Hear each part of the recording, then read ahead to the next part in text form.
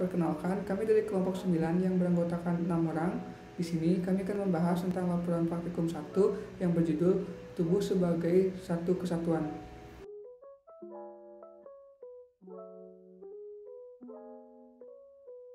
Saya Kadek Mata Yoga dengan ekor NPM yaitu 038. Di sini saya akan menjelaskan tentang rongga-rongga dalam tubuh manusia yang pertama itu ada rongga tengkorak atau cavum cranialis yang berisikan otak besar, otak kecil, dan batang otak yang termasuk dalam sistem syaraf pusat.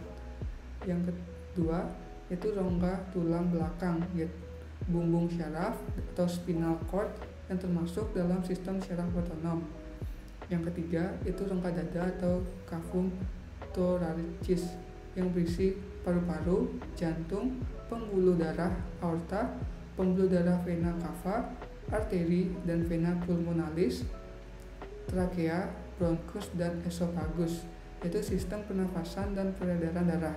Yang keempat yaitu rongga perut atau cavum abdomen yang berisikan tentang lambung, usus halus, usus besar, kelenjar pankreas, limfa, hati, dan ginjal.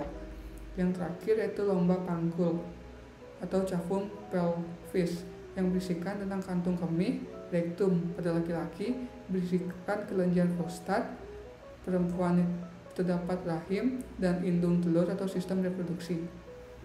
Kenalkan nama saya Ibu Tupino Fongke Arisoma. Di sini saya akan menjelaskan daerah-daerah tubuh menurut gambar berikut. Nomor 1, right hypochoriac region. Nomor 2, epigastric region. Nomor 3, left hypochoriac region.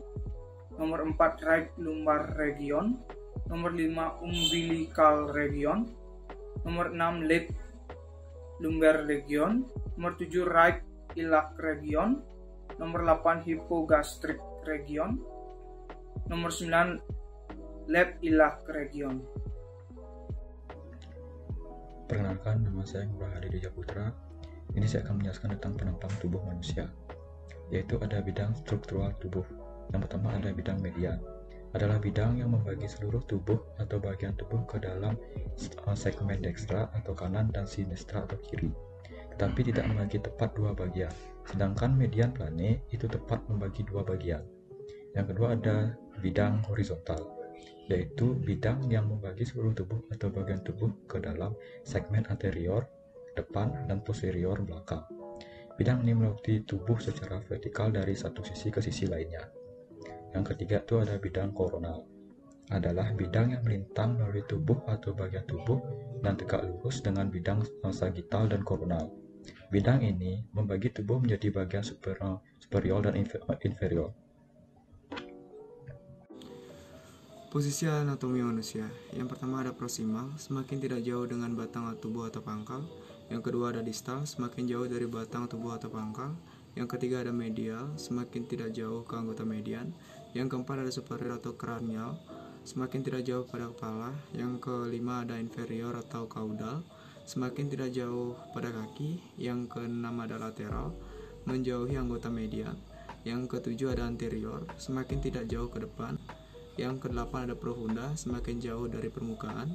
Yang eh, kesembilan ada posterior, uh, arti kata posterior adalah terletak di belakang. Posisi anatomi pada tikus. Yang pertama, kelenjar saliva. Berfungsi untuk membersihkan sisa-sisa makanan dari rongga mulut dan membawanya ke kerongkongan untuk ditelan. Yang kedua, trakea adalah organ pernapasan berbentuk tabung. Yang ketiga ada kelenjar timus, adalah kelenjar yang terletak di tengah rongga dada, tepatnya di belakang tulang dada dan di antara paru-paru. Yang keempat, atrium kanan. Dua ruas atas jantung disebut dengan atrium. Yang kelima, paru-paru kanan merupakan organ respirasi atau pernapasan. Yang keenam, diafragma. Diafragma merupakan otot utama yang digunakan saat bernapas. Yang ketujuh, hati merupakan salah satu organ yang perannya sangat vital.